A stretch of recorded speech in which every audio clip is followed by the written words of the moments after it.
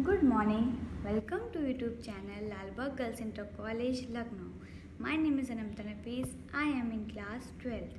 Subject English. Topic Central idea of the poem The Character of a Happy Life. So let's start. Central idea of the poem Character of a Happy Life written by Sir Henry Wotton. In this poem, the poet describes the qualities of a really happy man. Happy man is honest and truthful. He is master of his passion. He is never afraid of death. He does not care for the love of the prince or the criticism of the common people. He is free from rumors. He depends upon the voice of his conscience.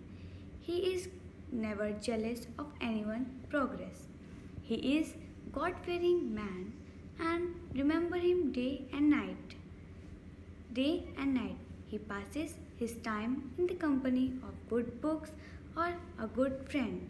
He is rich in heart and lord of himself. Thank you.